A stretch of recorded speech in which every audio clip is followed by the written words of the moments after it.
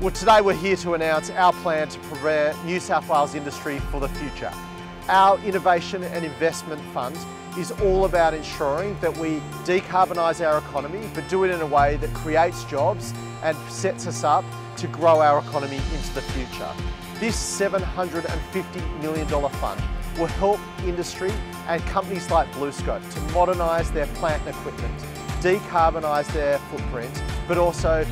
support jobs and also grow their business. This is not just about supporting existing industries, it's also about laying the foundations to create new low emissions companies into the future and also investing in research and development to put New South Wales at the front of the queue in taking the opportunities and grabbing them in a low carbon global economy.